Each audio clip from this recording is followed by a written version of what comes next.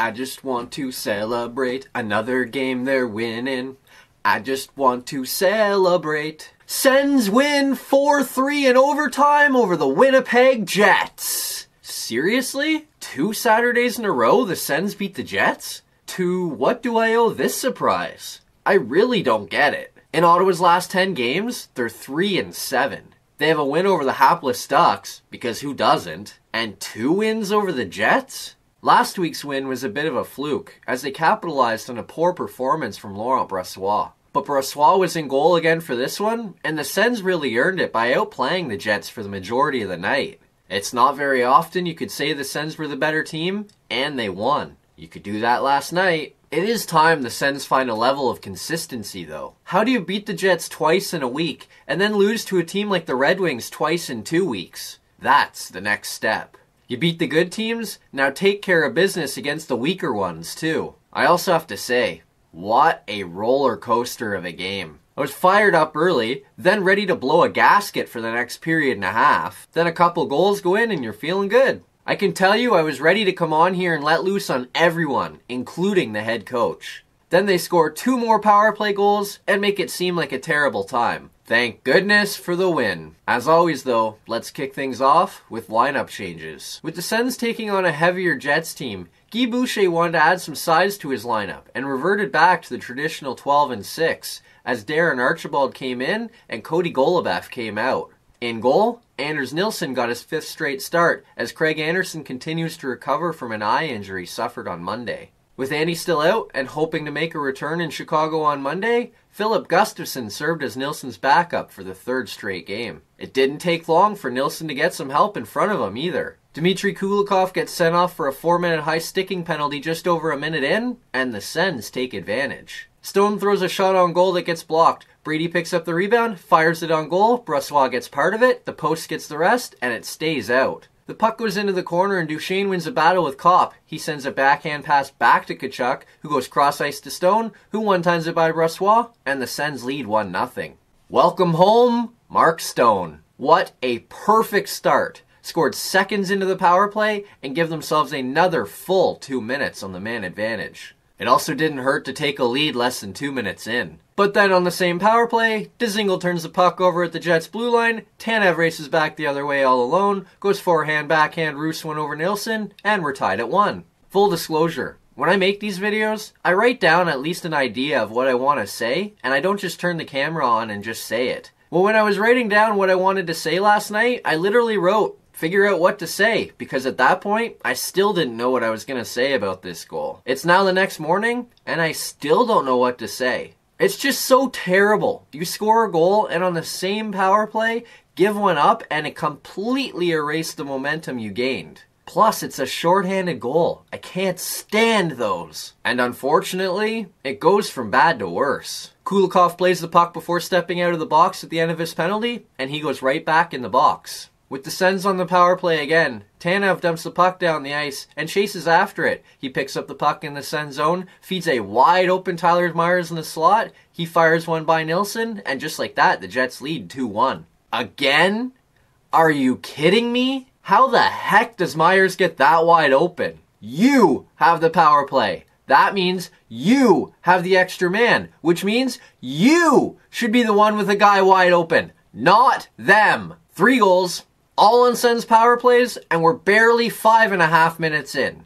Unbelievable. And the crazier thing is, although there are chances over the last 14 and a half minutes, both goalies get settled in, hold the fort, and the Jets take a 2 1 lead into the first intermission. The Sens press for the equalizer in the second, but Brossoit is equal to the task every time, including on a Pageau breakaway, but finally, with about six minutes to go, the Sens break through. But before they do, the Jets think they have another goal. Bryan Little jams at a bouncing puck at the side of the Sens goal, and Brady Tkachuk falls down on the other side and starts sliding into the net. The puck goes to the side of Nilsson and hits Tkachuk as he's sliding into the goal. The puck is somewhere under Tkachuk and Nilsson, but never seems to cross the line. The NHL office understandably reviews it anyway, and determines it's not a goal. Based on other calls this year, I'm not overly surprised by that. You never actually see the puck go in, so you can't call it a goal. The Jets almost do extend their lead, but Kyle Connor airmails a glorious opportunity, keeping the Jets in front 2 to 1. Those missed opportunities would prove huge, as the Sens would come down the ice and tie the game. Another Jets penalty gives the Sens another power play, and they use it to their advantage this time. The Sens work the puck around the Jets zone before Jaros feeds to Dzingel. He fires one on goal, Balcers tips it in front, it gets by Brossoit, and just like that, we're tied at two.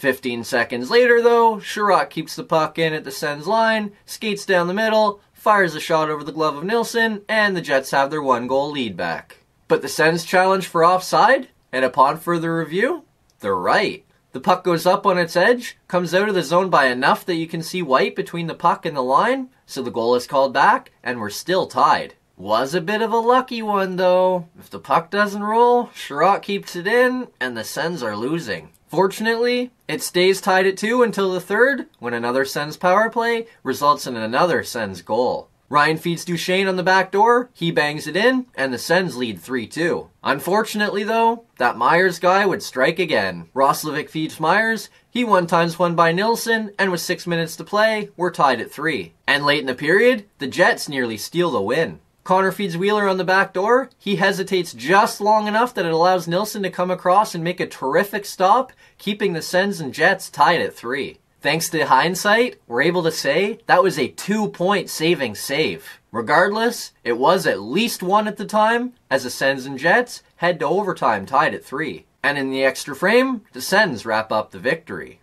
Tierney pokes a Dzingel pass by Scheifele, and the Sens move into the Jet zone. Tierney feeds Dzingel, he dekes the equipment off of Brossoit, buries the game winner, and the Sens win 4-3. Boom! I know the Jets aren't playing great right now, but that's a huge win. The Sens really owned this game. Seeing them carry the play against a top 5 team is encouraging. Now keep it all together and let's see what happens next year. No trading the stars. Let's just get into good news, bad news. This is one of those games where the good news could also be the bad news. And I don't do this very often, but let's start with the bad news. I have to imagine everyone knows what's coming. The Sens power play nearly cost them a game they deserve to win, and that is the bad news. Yes, they scored three power play goals, so you can't totally destroy them, but they gave up two first period shorthanded goals, and I bet you if you ask them, the whole team would tell you that that's just not acceptable. It was a bit of a weird game, and the Sens power play was a big reason for that. I have to admit,